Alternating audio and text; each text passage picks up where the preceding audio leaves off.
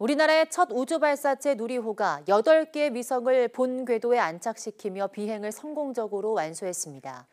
18분 58초 동안 이어진 누리호 비행의 여정을 차정윤 기자가 정리했습니다. 4, 3, 2, 엔진 점화, 이륙. 엄청난 굉음과 함께 붉은 불꽃을 내뿜으며 한국형 발사체 누리호가 하늘로 솟구칩니다. 거대한 위용을 자랑하며 수직으로 뻗어나가는 누리호.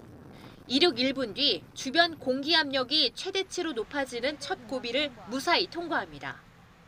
발사 2분 5초쯤 64.5km 지점에 달하자 1단 로켓이 분리돼 떨어져 나갑니다. 점화된 2단 엔진으로 고도 204km까지 올라간 누리호는 위성 보호 덮개인 페어링을 정상 분리했습니다. 이어 258km 고도에서 2단 로켓이 분리되고 발사 13분 3초 뒤 목표 고도인 550km 지점에 도달합니다.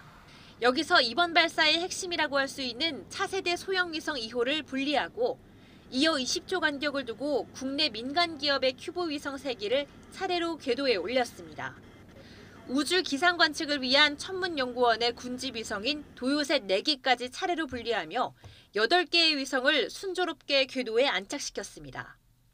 3차 발사까지 누리호 비행 성능을 확인하며 누리호의 신뢰성을 확보함과 동시에 발사 서비스는 물론 다양한 위성 운영과 우주 탐사까지 우리의 가능성을 다시 한번 확인하는 계기가 되었습니다.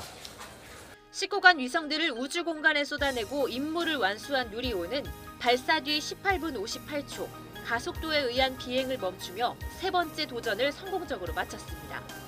YTN 차종우입니다.